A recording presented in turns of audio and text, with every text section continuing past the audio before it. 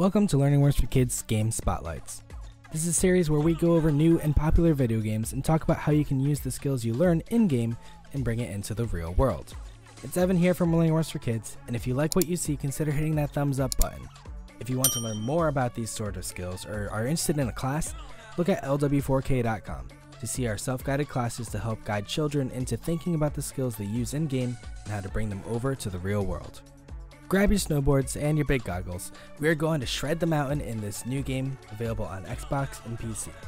The game we are talking about is called Shredders and is a game created for snowboarders by snowboarders. You start the game off by going to Frozenwood Resort with your buddy Scotty to make some funny snowboarding videos. You are then recruited by Lisa for some sponsored clips. As you progress through the game, you unlock a beautiful snowy open world to explore on your board. Players will practice their flexibility skills when they play shredders.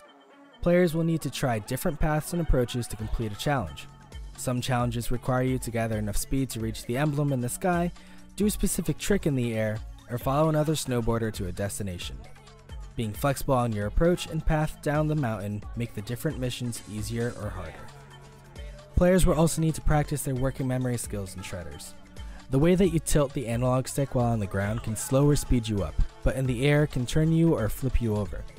Holding certain buttons allows the player to perform certain grabs or spin in different directions. Knowing what each button does and when it does certain actions will help you complete your missions and progress in the game.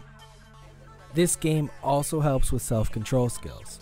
The missions in the game aren't always easy and require you to try many times to complete them. Keeping a level head while doing this will help you see what you're doing wrong and fix that to finish the mission.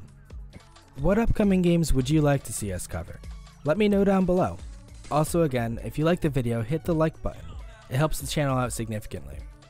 Until next time, check out our other content at lw4k.com.